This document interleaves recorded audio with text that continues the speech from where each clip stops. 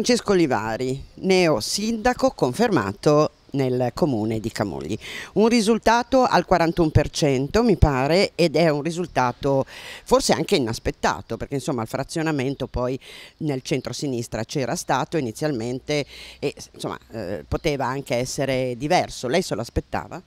No, con questi risultati francamente non ce l'aspettavamo. Eravamo tranquilli nel senso che abbiamo lavorato bene, abbiamo messo uh, in piedi un gruppo molto, molto valido di persone capaci, competenti, per cui speravamo di riuscire a vincere, ma non con questo distacco. È stata una sorpresa anche per noi. E gli altri risultati come li commenta dei suoi competitors? Ma non sta a me diciamo, eh, commentare i risultati degli altri, ma credo che anche loro avessero aspettative superiori di quelli che poi sono scaturite dai risultati di domenica. Una considerazione politica, se si può dire, eh, nella provincia di Genova sono tre i comuni che eh, diciamo erano guidati da un centro-sinistra e tutti e tre hanno portato a casa un risultato forse con, nel contesto nazionale inaspettato. Come, mh, come considera questo dato da un punto di vista politico e di zona? Ma eh, sicuramente i cittadini poi guardano le persone e a quello che si è fatto nei cinque anni precedenti, per cui hanno dato un giudizio sul lavoro svolto e poi anche su come si è presentata la lista. Quindi vuol dire che lavorare con serietà e alla fine poi paga.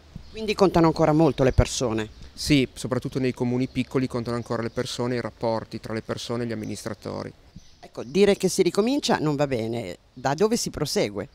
Beh, eh, un po' ricominciamo perché la squadra è stata rinnovata, per cui ci sono degli ingressi nuovi, però eh, ripartiamo da quello che abbiamo lasciato in sospeso, lavori già appaltati, progetti avviati, quindi abbiamo un percorso già tracciato, ovviamente dobbiamo inserire le cose nuove che abbiamo proposto.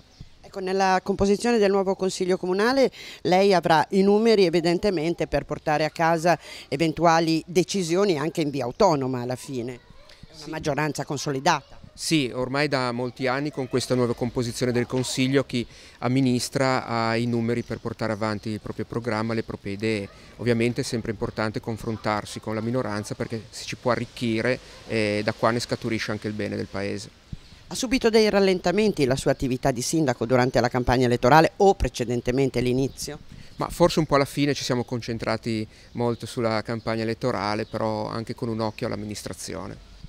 Per quanto riguarda invece eh, diciamo, la sua politica esterna al comune di Camogli, come si misurerà con i vicini, se vogliamo dire così, cioè Recco e, e tutti gli altri comuni, con i quali peraltro già collaborava prima? Sì, abbiamo sempre avuto un ottimo rapporto con i comuni vicini, con i comuni del Golfo Paradiso, collaboriamo col distretto sociosanitario, quindi con le politiche eh, sociali, politiche della famiglia la persona, mentre con i comuni del Golfo del Tiguglio, Santa Margherita e Portofino in particolare abbiamo già rapporti per quanto riguarda la gestione del parco nazionale e dell'area marina protetta.